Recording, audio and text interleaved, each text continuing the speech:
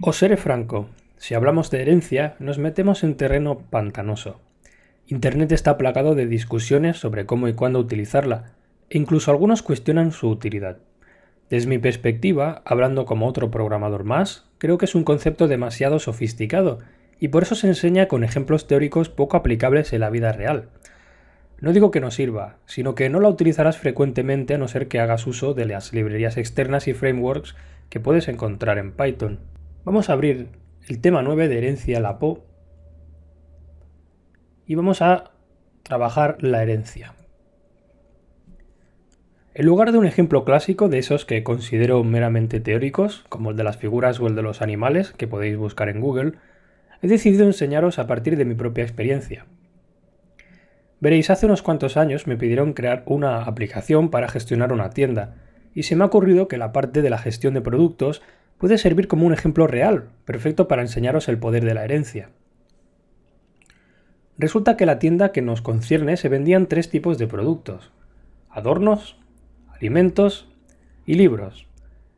Todos los productos compartían el hecho de tener una referencia, un nombre, un precio y una descripción. Pero los alimentos también tenían un productor y un distribuidor, y los libros un código ISBN y un autor. Lo he resumido un poco porque en realidad había muchos más campos. Pero la cuestión es, con lo que sabemos hasta ahora, ¿es posible implementar este sistema de productos? Y supongo que sí. Por ejemplo, podríamos crear una clase producto que integre todos los campos posibles y también un tipo de producto para diferenciar entre adornos, alimentos y libros. Podríamos entonces comenzar creando una clase producto y dentro definir, por ejemplo, un método init al que le vamos a pasar pues todos estos campos. Comenzaremos por self, le pasaremos una referencia, un tipo, para hacer referencia si es un adorno, un alimento o un libro, un nombre, un precio de venta al público, PVP, una descripción, y ahora un productor, un distribuidor, un ISBN y un autor. Pero digamos que estos son los obligatorios, ¿no? Porque son los comunes en todas los productos, ¿no? Pero los que vienen ahora son optativos, por tanto vamos a decir que por defecto pueden tener un valor que sea nulo, none. Por ejemplo, productor igual none, distribuidor igual none, ISBN, que es la referencia única de los libros, none, y un autor, autor igual none. Dentro lo que haríamos pues es asignar a la referencia, al tipo, el nombre y todos los atributos los asignaríamos pues de clase. Bueno, esto sería un comienzo. Si os paráis a pensar cómo crearíamos algún producto, pues por ejemplo crearíamos un adorno. Lo haríamos así, pasando el producto y le pasaríamos pues una referencia en primer lugar, podría ser un número o una cadena, por ejemplo le voy a poner esta, 000A, un tipo, aquí le pasaría por ejemplo el código adorno en mayúsculas, o un número que yo sepa que son solo adornos, el nombre, por ejemplo, vaso adornado,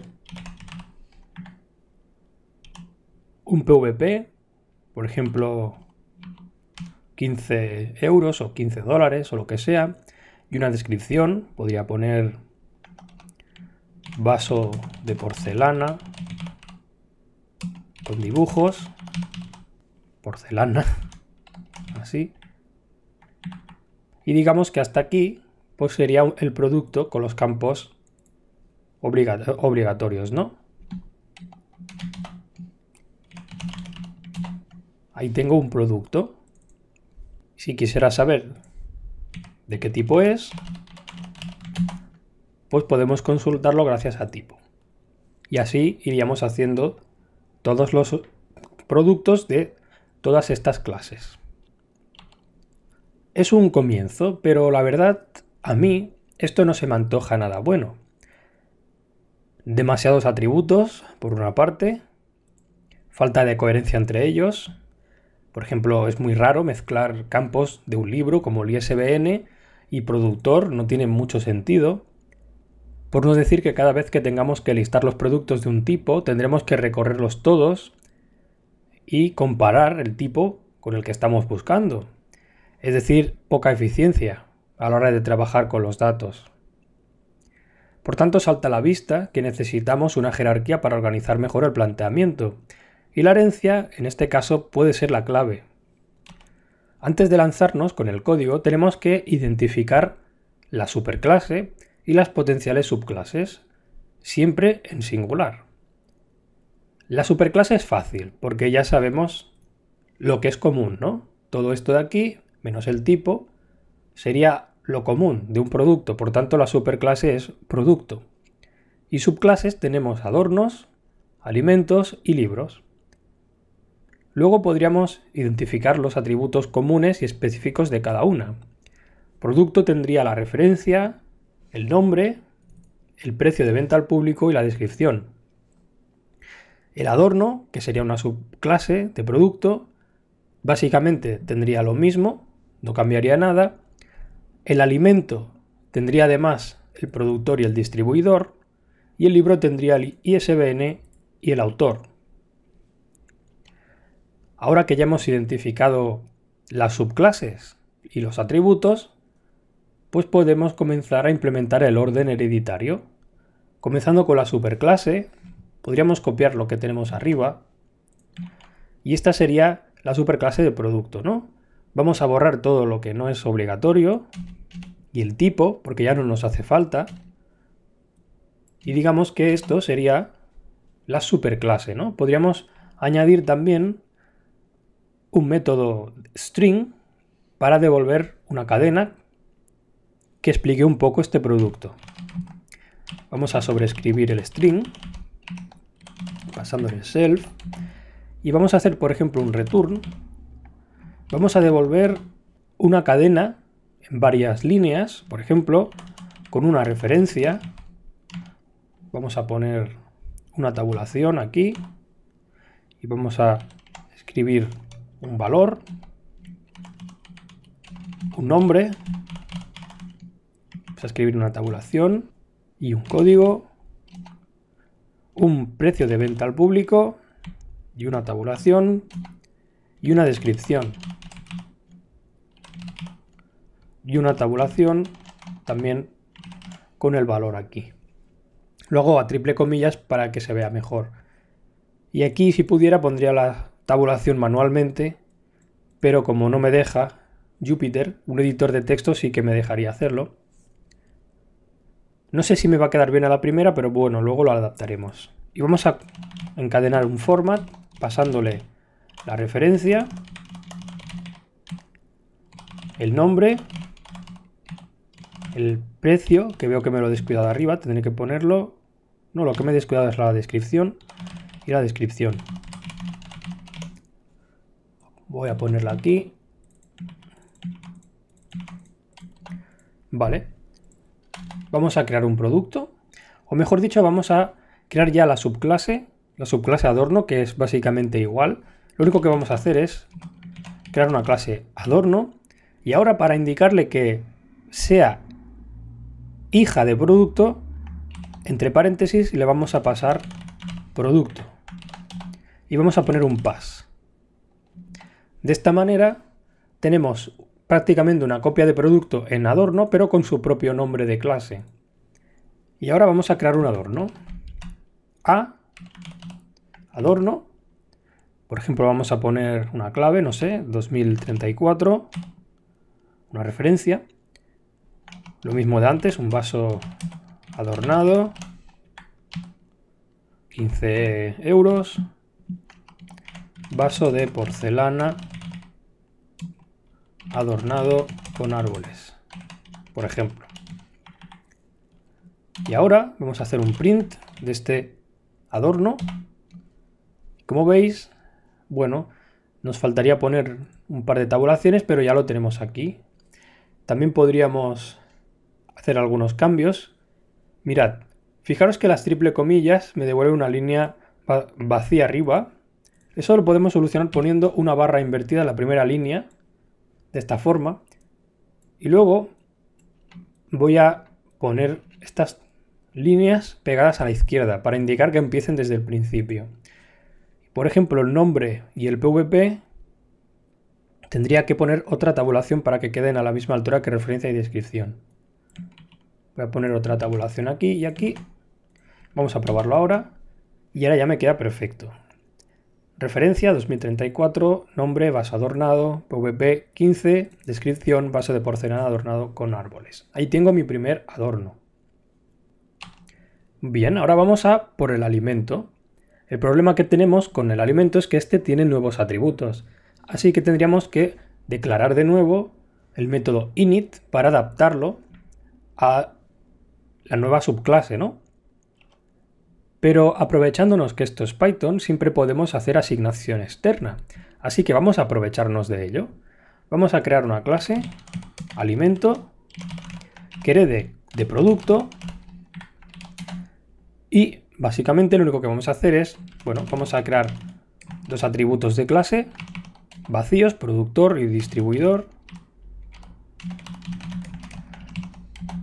Y ahora lo que podemos hacer es crear un, alimento al de la clase alimento. Por ejemplo, vamos a ponerle el código 2035. Diremos que es, por ejemplo, una botella de aceite de oliva extra que vale 5 euros y en la descripción pondríamos 250 mililitros, ¿no? Por poner algo. Y digamos que ahora asignaríamos el productor y el distribuidor a este alimento, pero en vivo externamente. Al productor nos vamos a inventar algo, por ejemplo, la aceitera. Y el distribuidor sería, por ejemplo, no sé, distri Distribuciones SA. Vamos a mostrar este alimento. Como veis, tenemos lo mismo de antes. Sin embargo, nos faltan este par de campos extra, ¿no? Bueno, pues tenemos que adaptar el string. Tenemos que redefinirlo para que muestre estos dos campos extra a la hora de mostrar nuestro producto, nuestro producto pero de tipo alimento. Así que vamos a sobreescribir el string, únicamente en este caso, en el alimento. Podemos copiarlo directamente del de producto. Y aparte de todo lo que estamos pasando, por ejemplo, vamos a añadir dos campos más abajo. Uno que sea productor, una tabulación. Aquí mostraremos el productor. Y el distribuidor, una tabulación y aquí lo mostraríamos. Nos falta añadir al format estos dos campos, self productor y self distribuidor. Si lo volvemos a ejecutar todo, a ver, me falta poner la tabulación aquí, pero ponerla bien, así. Me he puesto aquí un, espacio de más, ahora queda bien. Aquí ya tenemos un producto de, un tipo alimento y nos muestra los campos que tienen los alimentos también, con el productor y el distribuidor. Porque hemos sobrescrito el método interno string. Y por último, nos falta el libro, que básicamente es lo mismo. Vamos a copiar prácticamente el alimento. Vamos a declarar una clase libro que herede de producto. Aquí tendríamos un ISBN, este código, y también un autor. Y lo que cambiaríamos es el productor, lo pondríamos aquí ISBN, y el distribuidor pondríamos autor. Aquí ISBN y aquí autor.